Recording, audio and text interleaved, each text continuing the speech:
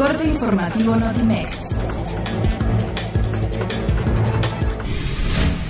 El subsecretario de Relaciones Exteriores para América Latina y el Caribe, Maximiliano Reyes, solicitó a la canciller boliviana, Karen Logaric, abrir un canal de diálogo directo para tratar la situación tensa que se vive con el asedio a la Embajada Mexicana en La Paz. El presidente Andrés Manuel López Obrador destacó que este 2019 termina con buenas noticias en lo económico, pues no aumentó la deuda pública y la inflación es controlada, y para el próximo año no habrá sorpresas desagradables en ese rubro. La jefa de gobierno Claudia Sheinbaum ofreció su apoyo total para la rehabilitación del mercado de la Merced a través de cinco acciones que incluyen ayuda económica y reordenamiento del comercio tanto al interior como al exterior del inmueble.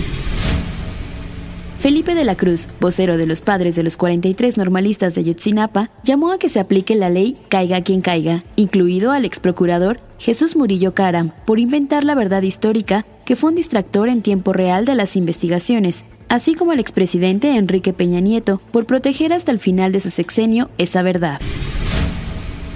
John Ackerman aseguró que aunque los llamados youtubers jugaron un papel importante en el triunfo de Andrés Manuel López Obrador, fue una revolución social y no una revolución youtubera, lo que logró que el actual presidente llegara al poder. El presidente iraquí, Barham Salih, presentó su renuncia al Parlamento para evitar violar un principio constitucional y en respuesta a la voluntad del pueblo expresada en las movilizaciones sociales que desde octubre exigen un cambio político. Fuentes del Partido Demócrata se encuentran evaluando las posibilidades del senador Bernie Sanders para alcanzar la candidatura presidencial y contender por la Casa Blanca ante el actual presidente Donald Trump.